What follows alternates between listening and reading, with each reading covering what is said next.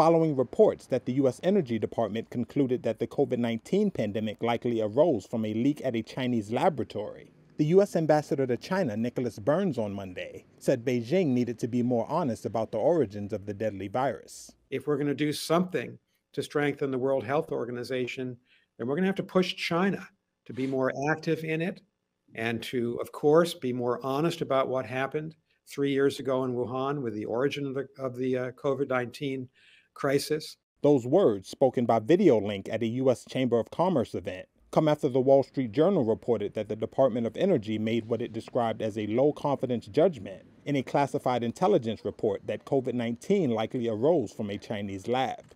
China flatly denies that assessment. Asked to comment on the report, China's foreign ministry referred to a WHO China report that pointed to a natural origin, likely from bats rather than a lab leak.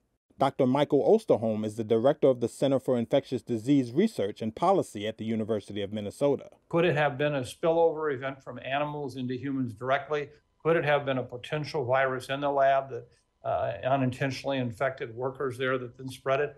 You know, we'll never know. We have to assume that both possibilities are real and we have to plan for the future.